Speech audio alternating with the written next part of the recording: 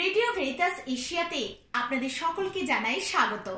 বন্ধুরা, আপনাদের প্রিয় অনুষ্ঠান এই আলাপনে আজ কোনো চিঠি বা ইমেল পড়া হবে না। আজ আমরা শুনব অতনুদার ম্যানিলা যাওয়ার কিছু অভিজ্ঞতার কথা। অতনুদা, আমরা জানি যে এই চিত্রবাণী এবং বাণীদীপ্তি থেকে মোট চারজনকে ম্যানিলাতে পাঠানো হয়েছিল। তার উদ্দেশ্যটা কি? হ্যাঁ চিত্রবাণী থেকে দুজন আর বাণীবৃত্তি থেকে আরও দুজন। আমরা চারজন মিলে আর কি রেডিও ভিটাসের বাংলা বিভাগের পক্ষ থেকে ম্যানিলাতে গেছিলাম। আচ্ছা।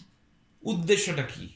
উদ্দেশ্যটা হচ্ছে যে রেডিও ভিটাস এতদিন ছিল হচ্ছে শর্টওয়েভ প্রোগ্রামে। এখন রেডিও ভিটাস অনলাইন রেডিওতে এসছে।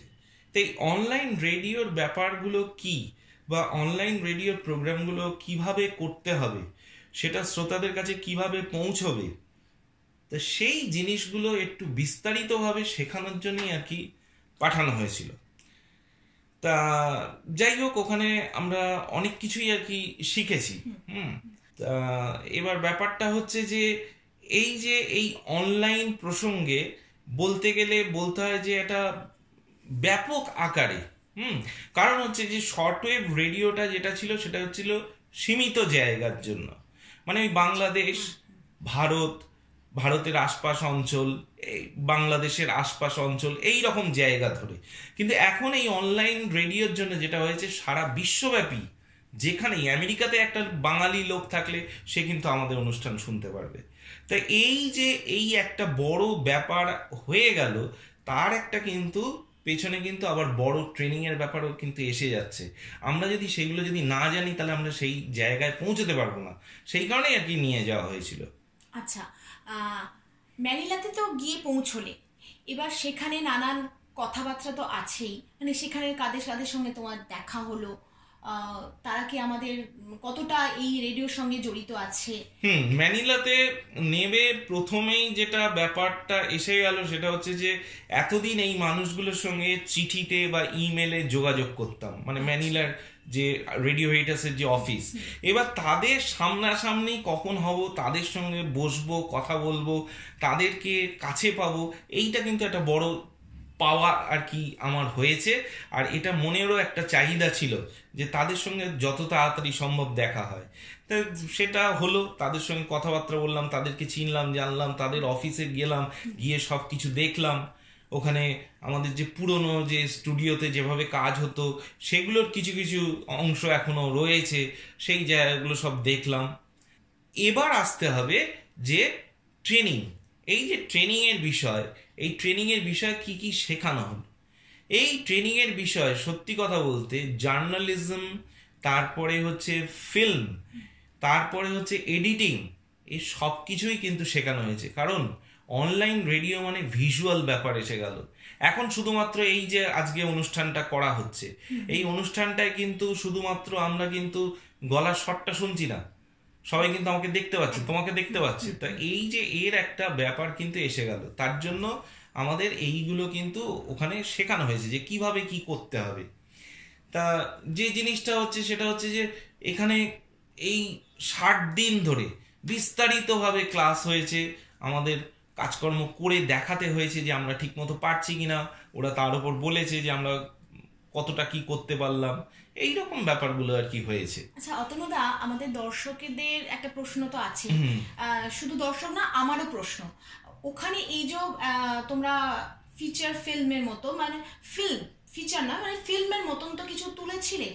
সেটা কি- মানে কীরকম করতে হয়েছিল? মানে কীভাবে তৈরি করেছিলে কতটা সময় দিছিল ওরা? এই বিষয় নিয়ে যদি একটু বলো। এখানে ব্যাপারটা হচ্ছে যেটা সেটা হচ্ছে আমাদের যা যা কাজ দেওয়া হতো সেই কাজগুলো ঘণ্টা দুয়েক ম্যাক্সিমাম হয়তো ঘণ্টা চারেক সময় দেওয়া হতো, তার মধ্যে চার থেকে পাঁচ মিনিটের কাজ করতে হতো। এবার এখানে একটা ব্যাপার হচ্ছে যে রেডিও প্রোগ্রাম আগে যেরকম লম্বা লম্বা ছিল, সেই জিনিসটা কিন্তু অনলাইন রেডিওতে থাকবে না। এখানে প্রথমেই একটা জিনিস বলা হয়েছে এবং শ্রোতা বন্ধুদেরও একটা জিনিস বলতে হবে যে, মাথা থেকে শর্টওয়েভ রেডিও এই আইডিয়াটা বাদ দিতে হবে। এই অনলাইন রেডিওতে যখনই হচ্ছে, তখন কিন্তু এর ফরম্যাটটা আলাদা। এখানে হচ্ছে তিন থেকে চার মিনিট বড় জোর পাঁচ মিনিট হচ্ছে ম্যাক্সিমাম প্রোগ্রাম হবে। আচ্ছা। এই অনুষ্ঠানের মধ্যে থাকবে হচ্ছে ভিডিও ছবি এইসব থাকবে।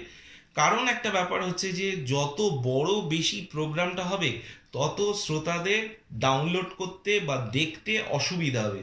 তার জন্য চটজলদি প্রোগ্রাম করতে হবে। আর ওই চটজলদি প্রোগ্রামগুলোই আমাদের মানে শেখানো হয়েছিল। এবারে এখন একটা ব্যাপার রয়েছে সেটা হচ্ছে যে রেডিও হেরিটাস এই হঠাৎ করে কেন অনলাইনে। এই প্রসঙ্গে আসে। আপেক্ষিকভাবে দেখতে গেলে দেখা যেতে পারে যে রেডিও এডিটার্স হঠাৎ করেই বা একটু হয়তো তাড়াতাড়ি হয়তো ঢুকলো। এখানে কতগুলো কথা আমাদের শ্রোতা বন্ধুদের জানা উচিত। সেটা হচ্ছে যে রেডিও এডিটার্স একটা কোনো সরকারি বেতন না। তার টাকা পয়সা তার সমস্ত ব্যবস্থাপনা তার একটা সীমিত ব্যাপার রয়েছে। অন্যান্য যে কোনো একটা বাইরের রেডিও স্টেশন সরকার দ্বারা কিন্তু, তারা কিন্তু পুষ্ট হয় মানে তাদের টাকা, পয়সা এইসব ব্যাপারগুলো আসে। তো রেডিও এইটার্স সেরকম ব্যাপার না। রেডিও এইটার্স কখনোই ওই রকম ধরনের টাকা, পয়সা খরচা করতে পারবে না। তাদের অলরেডি তাদের কিন্তু লোকবল কিন্তু বিরাট, কারণ তাদের রিপোর্টার আছে। হ্যাঁ? কিন্তু আমাদের কিন্তু ওরকম রিপোর্টার নেই। কিন্তু ওই জায়গাটাই আমাদের কাছাকাছি তো অন্তত যেতে হবে। তো এবার সেই জিনিসটার জন্য রেডিও এইটাস কিন্তু আগে থেকেই নেমে পড়েছে। এই যে এখন অনুষ্ঠানে নানা রকম গন্ডগোল হচ্ছে। শ্রোতা বন্ধুরা বলছে এই ঠিক টাইমে শুনতে পাচ্ছি না। কি হচ্ছে? এই সব যে নানা রকম সমস্যা হচ্ছে। আসলে ব্যাপারটা হচ্ছে কি? রেডিও এইটাসের যে টার্গেট সেই টার্গেটটা হচ্ছে কিন্তু এপ্রিল দু হাজার উনিশে রেডিও এইটাসের পঞ্চাশ বছর পূর্তি। তো এই এপ্রিল দু হাজার উনিশের মধ্যে আমরা সব সার্ভিসগুলো রেডিও এইটাসে সব যেন একটা সিস্টেমে চলে আসে। এই যে এখন যে ভুল ত্রুটি যে ব্যাপারগুলো হচ্ছে বা গন্ডগোল হয়ে যাচ্ছে এই সব জিনিস যেন এপ্রিল মাসের ওই সময় যেন না থাকে তার জন্য কিন্তু এত আগে থেকে শুরু হয়েছে। মানে আমাদের ওই পর্যায়ে যাওয়ার জন্য একটা ইংরেজিতে যেটা বলে যে ট্রানজিশন পিরিয়ড সেই জিনিসটায় যাওয়া হচ্ছে। আমরা ভুল ত্রুটিগুলো দেখে ঠিক একটা পর্যায়ে যেতে পারব ওই এপ্রিল দু হাজার উনিশে। তখন যাতে ভুল ত্রুটি না থাকে, তখন যাতে একটা সিস্টেমেটিকভাবে চলে, সেই কারণেই আগে থেকে এই ব্যবস্থাপনাটা শুরু হয়েছে। আর এখানে বারবার করে ওরা একটা জিনিস বলেছে যে শর্টওয়েভ জিনিসটা কিন্তু ভাঙতে হবে। এখন একটা ব্যাপার হচ্ছে যে আমি এখানে মনে করলাম যে আমার আগে একটা অনুষ্ঠান ছিল সাড়ে ন মিনিট কি পঁচিশ মিনিট।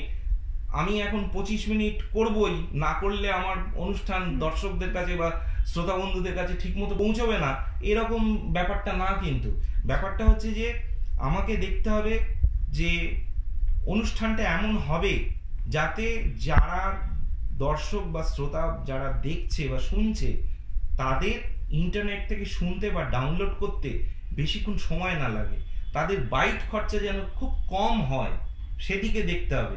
এখন যেটা হয়ে গেছে, সেটা হচ্ছে এই রকম টাইমটা কমিয়ে দিতে হবে। আজকে যদি একটা পঁচিশ মিনিট, সাতাশ মিনিটের যদি প্রোগ্রাম যদি আপলোড করা হয়, তাহলে কিন্তু যারা শ্রোতা, তাদেরই অসুবিধা হবে। তারা সেইভাবে দেখতে পারবে না, শুনতে পারবে না। এই জায়গাগুলো আমাদের আমি বুঝতে পারছি আমি যেসব শ্রোতা বন্ধুদের সঙ্গে ফিরে এসে কথা হয় বা আগেও যাওয়ার আগে কথা হয়েছে তারা ঠিক ব্যাপারটাকে নিতে পারছে না তাদের কাছে একটা ধাক্কা লাগছে অবশ্যই ধাক্কা আমার কাছেও ধাক্কা যে আমি একরকম ভাবে প্রোগ্রাম করতাম এখন যেন কীরকম হচ্ছে? হ্যাঁ সেটা আমাদের এখন দর্শক বন্ধু হয়ে গেছে আগে শ্রোতা বন্ধু ছিল। হ্যাঁ। শ্রোতা বন্ধুদের মানে ব্যাপারটা ছিল যে আমরা কানে শুনে শুনে ওটা একটা অভ্যস আর এটা আমাকে বলতেই হবে যে যত বড় রেডিও স্টেশনই হোক, তারা যাই এখন বর্তমানে করুক না, আগামী দু বছর, তিন বছরের মধ্যে তাদেরকে শর্টওয়েভের এতে বন্ধ করতেই হবে।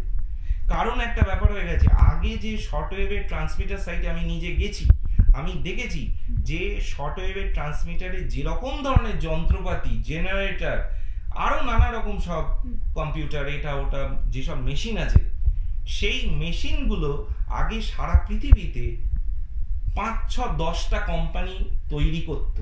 এখন শুধুমাত্র ইংল্যান্ডের একটা কোম্পানি তৈরি করে। এবার তার জন্য তারা যা দাম বলে সেই দামেই কিনতে হয়। তারা বুঝে গেছে সারা পৃথিবীতে এদের আর কোথাও অল্টারনেটিভ নেই। তারা এখন এইভাবে তারা বলতে গেলে ব্ল্যাকমেলিং করছে। হ্যাঁ? তা এবার এই জায়গাটা দাঁড়িয়ে প্রত্যেকটা রেডিও স্টেশনে এইরকম ভাবে অত্যাধিক খরচা হচ্ছে। এই খরচাটা কিন্তু যে কেউ বিয়ার করতে পারবে না। একটা সময় তাদের বন্ধ করতেই হবে। দর্শক বন্ধু, আমরা সবটাই বুঝতে পারলাম যে যেভাবে অতনুদা আমাদেরকে বললেন যে আমরা কীভাবে এই অনলাইনে এসেছি, কেন এসেছি, কি উদ্দেশ্যে আমরা এই কাজটা করে চলেছি।